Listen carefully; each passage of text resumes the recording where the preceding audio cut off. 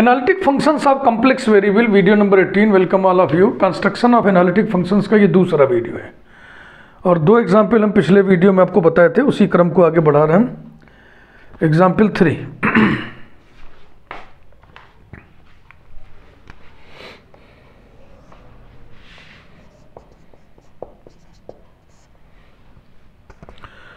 show that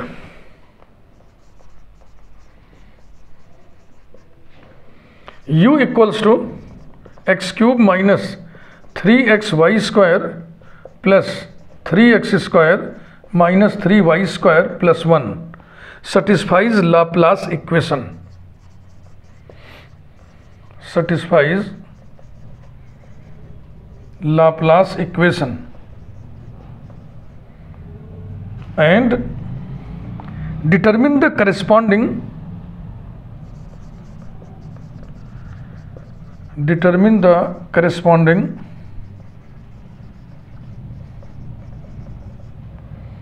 analytic function analytic function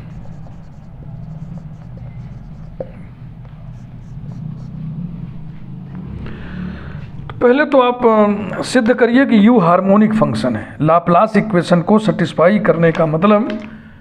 harmonic function होना u is equal to x cube minus three x y square plus three x square minus three y square plus one del u upon del x minus to three x square minus three y square plus six x यहीं बगल में लिख दिया जाए del square u upon del x square is equal to six x plus six del u upon del y is equal to minus six x y minus six y और बगल में लिख दिया जाए del square u upon del y square is equal to minus six x minus six ये देखो इन दोनों को ऐड करोगे जीरो आ जाएगा now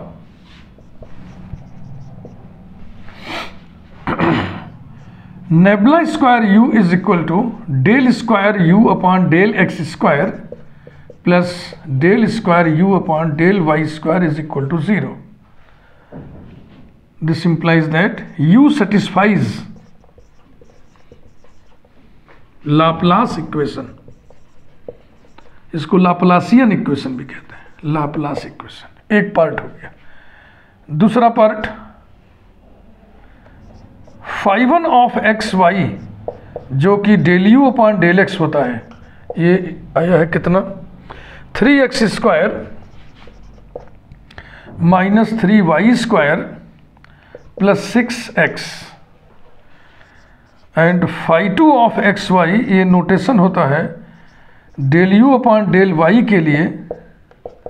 और ये कितना आया है minus six x y minus six y implies that five one of z zero कैसे निकालोगे एक्स को रिप्लेस कर दो जेड से वाई को रिप्लेस कर दो ज़ीरो से तो ये हो जाएगा three z square plus six z और five two of z zero y को जीरो से रिप्लेस करना है तो इसमें भी वाई है इसमें भी वाई है ये हो गया zero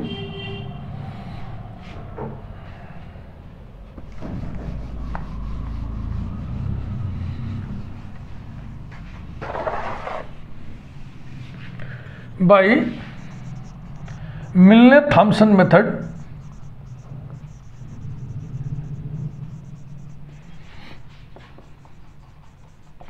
The corresponding analytic function is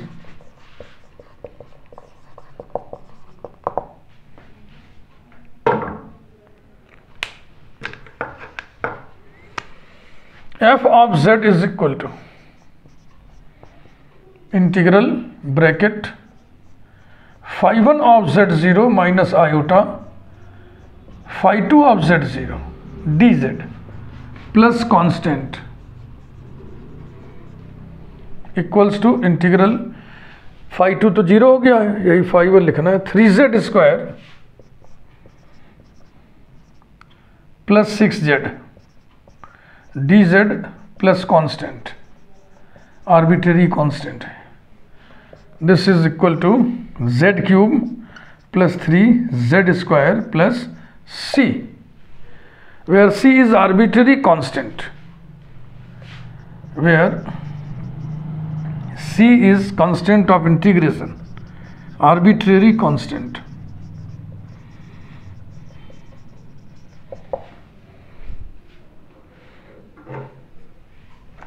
ये कंप्लीट हो गया सोल्यूशन पूरा next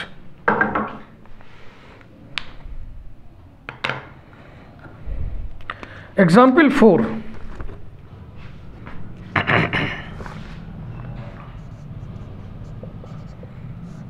show that u equals to sine x cos hyperbolic y plus two cos x sine hyperbolic y plus x square minus y square plus four x y satisfies Laplace equation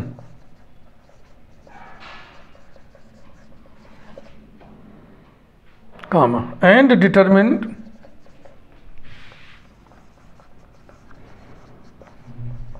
corresponding analytic function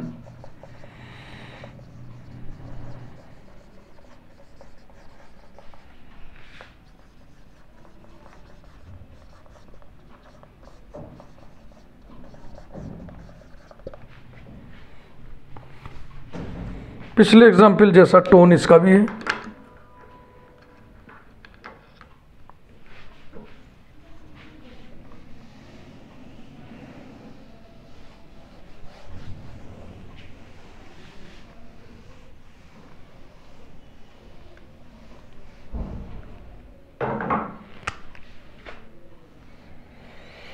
शुरू करिए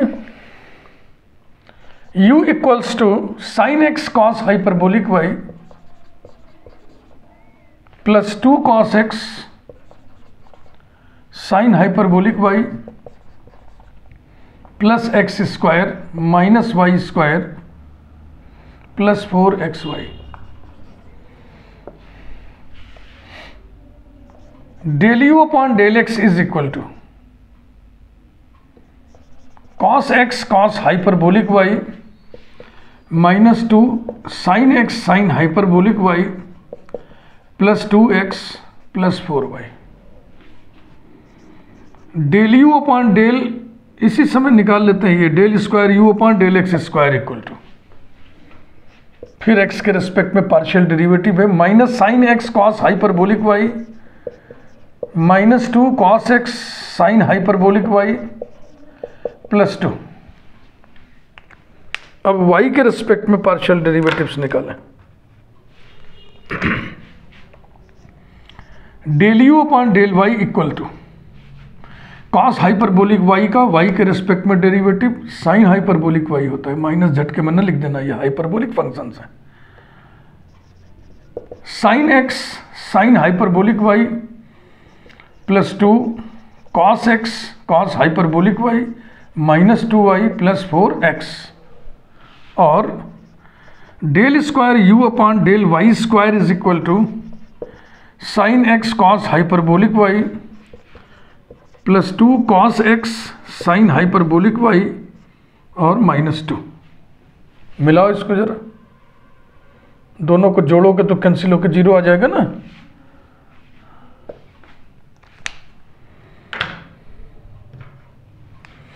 now nabla square u which is del square u upon del x square plus del square u upon del y square is equal to zero ध्यान से ना इसे इसे जोड़ने पर add करने पर ज़ीरो आएगा this implies that u satisfies Laplace equation इसलिए u हार्मोनिक फंक्शन है ऐसे भी लिख सकते थे ना show that u is harmonic function भाई मिलने थम्सन मेथड अभी नहीं पहले वो कुछ आंकड़े निकाल लें वन ऑफ एक्स वाई जो कि नोटेशन है del u upon del X के लिए del u upon del X ये लिखा है भैया cos x cos hyperbolic Y minus two sine x sine hyperbolic Y plus two x plus four Y implies that five one of Z zero X को replace करो Z से Y को replace करो zero से cos hyperbolic zero one होता है ये हो गया cos z sine hyperbolic zero zero होता है प्लस टू जेड यहां मैं लॉजिक लिख दे रहा हूं since sine hyperbolic zero equal to e to the power zero minus e to the power minus zero upon two equal to 1 minus 1 upon 2 equal to 0 and cos hyperbolic 0 equal to e to the power 0 plus e to the power minus 0 upon 2 equal to 1 plus 1 upon 2 equals to 1.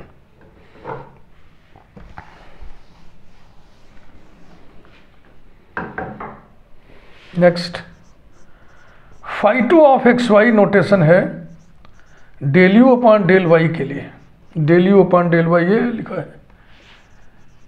sine x sine hyperbolic y plus two cos x sine hyperbolic y और minus two गलत लिख दिया ना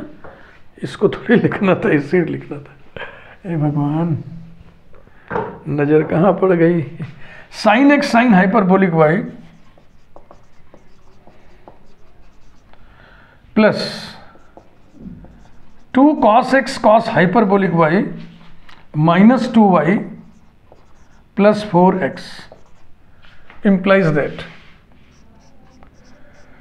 five two of z zero is equal to y को zero से replace करोगे तो sine hyperbolic zero zero हो जाएगा ये जीरो हो जाएगा कॉस हाइपरबोलिक जीरो वन तो कितना आएगा two cos z plus four which is equal to two into यही आ गया cos z plus two z भाई ये फोर थोड़ी बचेगा एक्स की जगह जेड भी तो रखना है तो cos z plus two z इसी का दूना आ गया by Milne Thomson method by Milne Thomson method the corresponding analytic function is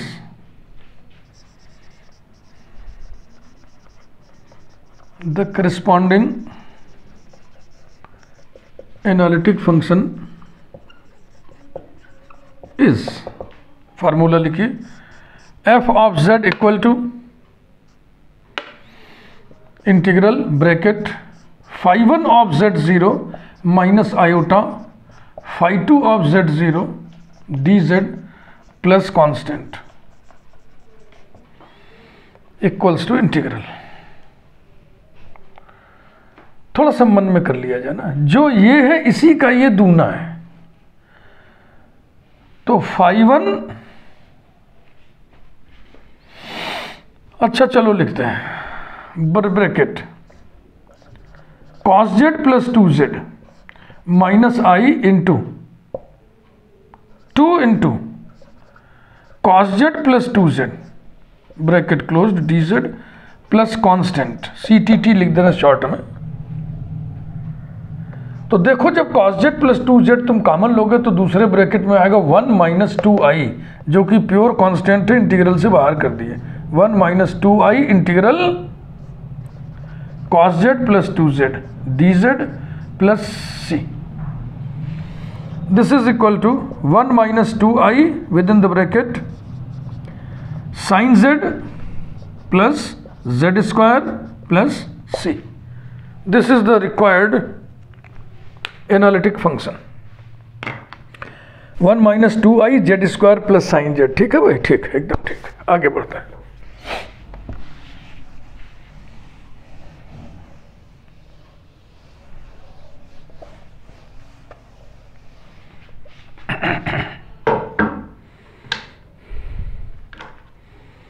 example five की बारी है थ्री हो गया फोर हो गया example five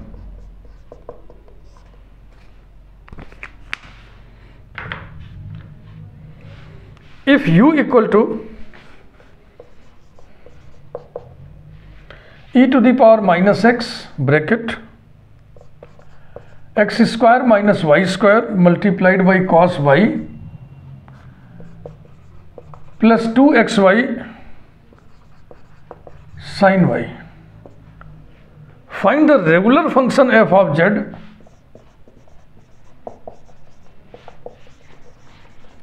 find the regular function f of z in terms of z ये देखो टर्मिनोलॉजी बहुत बदली हुई है इसलिए इस एग्ज़ाम्पल की चर्चा आपके साथ करनी बहुत ज़रूरी थी सारा काम बिल्कुल वैसे ही दहाड़ के करते चलिए u equals to e to the power minus x x square minus y square multiplied by cos y plus two x y sine y del u upon del x equals to product rule लगेगा बेटा e to the power minus x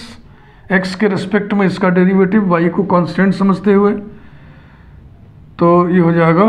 two x into cos y plus two y sine y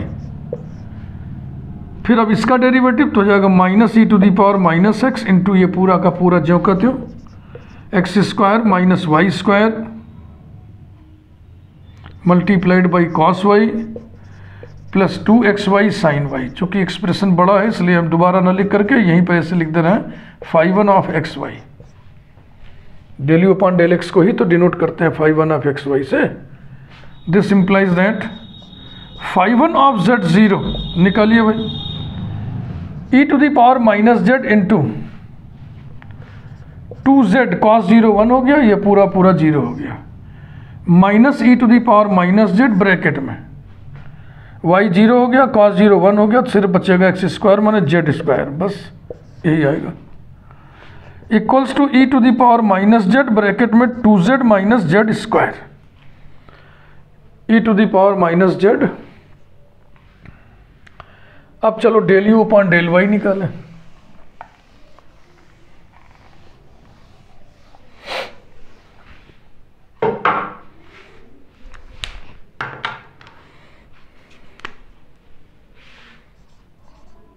del u upon del y में तो product rule लगेगा नहीं क्योंकि ये फिर x constant हो गया e to the power minus x constant coefficient अंदर वाले का डेरिवेटिव वाई के रिस्पेक्ट में first function x square minus y square into derivative of second minus sine y plus derivative of first minus two y into cos y फिर यहाँ भी product rule लगेगा रे भाई plus two x y into cos y और plus two x y का y के respect में टू एक्स हो गया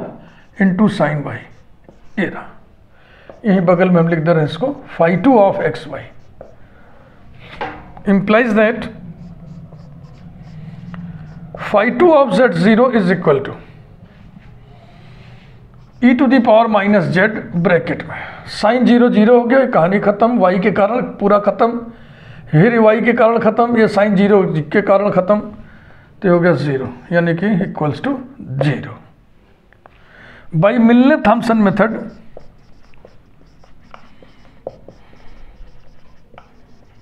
by Milne Thomson method comma the corresponding analytic function analytic function is F of Z equal to curly bracket sorry integral bracket five one of Z zero minus iota five two of Z zero D Z plus constant सावधानी घटी दुर्घटना घटी दिमाग इधर उधर गया नहीं तो कुछ ना कुछ गड़बड़ हो जाएगा ये गणित की दुनिया है बाबू इंटीग्रल फाइव टू तो जीरो हो गया फाइव वन की वैल्यू बस लिखनी है आपको E to the power minus Z bracket में two Z minus Z square D Z plus constant अब ये प्रोडक्ट टूल से बाई पार्ट्स इंटीग्रेट करना होगा दादू एक्सपोनेंशियल सेकंड और ये algebraic function with positive index first integrating by parts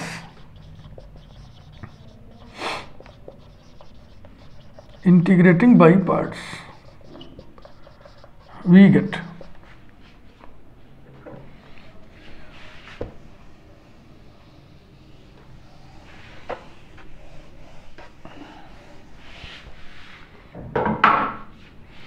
f of z is equal to first function 2z minus z square integral of second minus e to the power minus z फिर फार्मूले वाला minus integral derivative of first two minus two Z two minus two Z integral of second E to the power minus Z with negative तो आप positive कर दिया d Z plus constant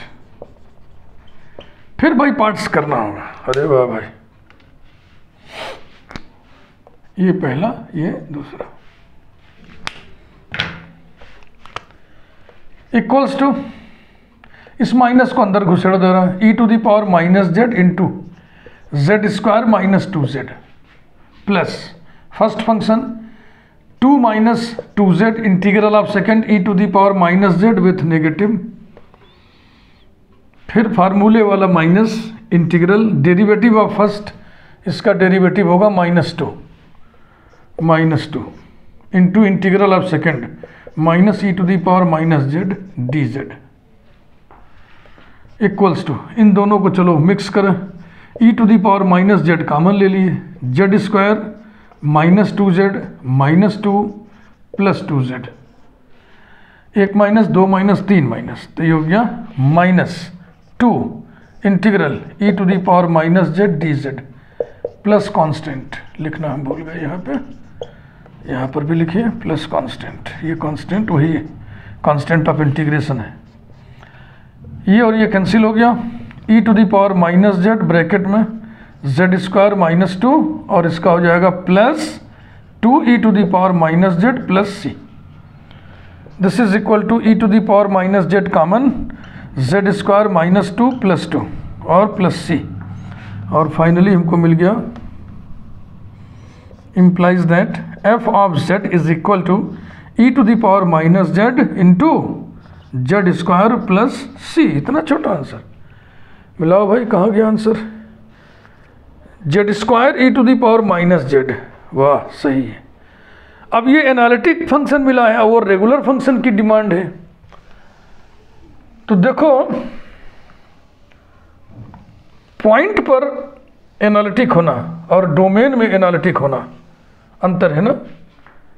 किसी point z not पे function analytic तब होता है जब z नॉट के किसी नेबरहुड में वो डिफरेंशिएबल हो लेकिन किसी डोमेन में एनालिटिक तब होता है जब उस डोमेन में डिफरेंशिएबल हो यानी रेगुलर हो thus the required regular function required regular function is f of z is equal to z square into e to the power minus z plus c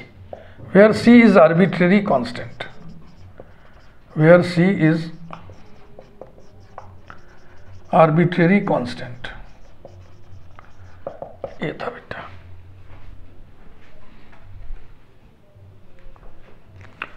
ऐसे जल्दी जल्दी छः सात मिनट में एक एग्जाम्पल और ढकेल दे रहा है एग्जाम्पल सिक्स हाँ लैंग्वेज सब में थोड़ा थोड़ा चेंज है इसलिए बता रहे हैं हर तरह के लैंग्वेज में एग्जाम्पल आपके सामने हम रख दे रहे हैं if U equal to X minus one whole cube minus three X Y square plus three Y square then determine F of Z determine f of z so that u plus iv is analytic अब देखो u plus i v कौन होता है f of z ही तो होता है तो भाषा थोड़ी सी चेंज कर दी है so that F of Z is analytic start करें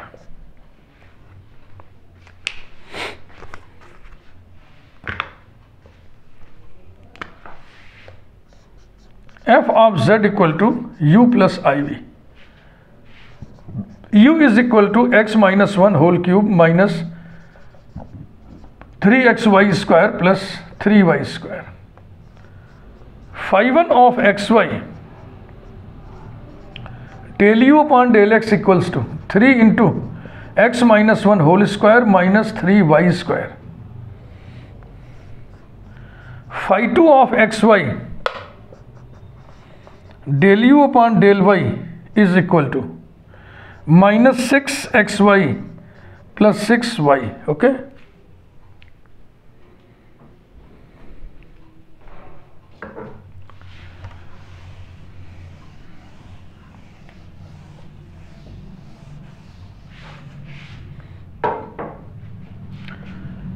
implies that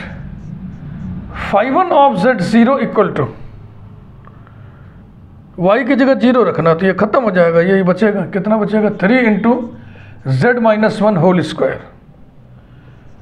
and five two of Z zero is equal to Y की जगह जीरो रखने से दोनों खत्म हो जाएगा zero by Milne Thomson method by Milne Thomson method the corresponding analytic function is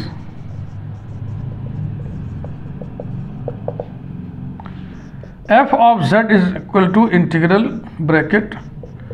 phi 1 of z0 minus iota phi 2 of z0 dz plus constant equals to integral five two तो zero ही है five one बस लिखना है three into Z minus one whole square D Z plus C this is equal to Z minus one whole cube upon three वाला three cancel हो जाएगा plus C Z minus one whole cube plus C बिल्कुल सही answer है video को like करिए और अब हम अगले वीडियो में आपको वो एग्ज़ाम्पल्स बताएंगे जिनमें यू और वी में से कोई एक देने के बजाय या तो u माइनस वी दिया रहेगा या तो u प्लस वी दिया रहेगा तब हम ट्रांसफॉर्मेशंस का इस्तेमाल करके सलूशन निकालते हैं थैंक यू